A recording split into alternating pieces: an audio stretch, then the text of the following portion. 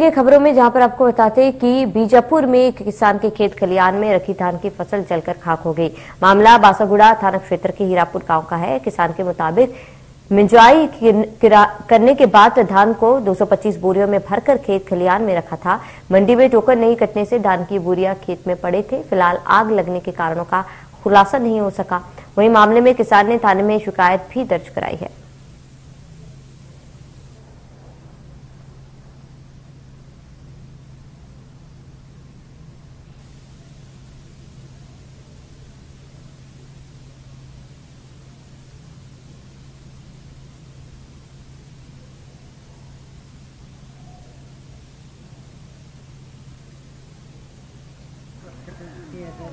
तो किसान ने थाने में रिपोर्ट दर्ज कराई है। आपको बता दें कि आग लगने का फ़िलहाल पता नहीं चल पाया। क्या कुछ कारण रहे? धान की बोरियों में भीषण आग लगने से किसानों को काफ़ी नुकसान हुआ है।